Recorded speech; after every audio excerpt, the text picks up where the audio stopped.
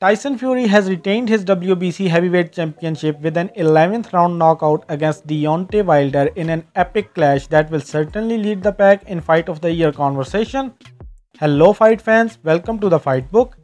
In this video we will be talking about how much they both earn for their all three fights. If you're facing any trouble understanding my Indian accent, you can turn on the subtitles.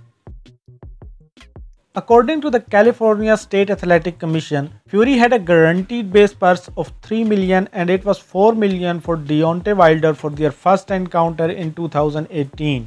The first fight generated 1 million PPV buys and the PPV revenue was split by 50-50. Wilder earned 14 million and Fury earned around 10 million dollars in total. In their rematch, both fighters had base salaries of 5 million dollars each earned more than $28 million guaranteed payout, which included the pay-per-view profits. The PPV sales of the second fight were between 800,000 to 850,000 in the USA. However, the PPV share of this fight was also 50-50 for both fighters. The base purse remains same for the trilogy.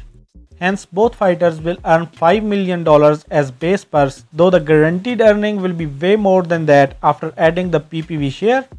Reportedly, Fury is said to bank a guaranteed $30 million from the trilogy fight.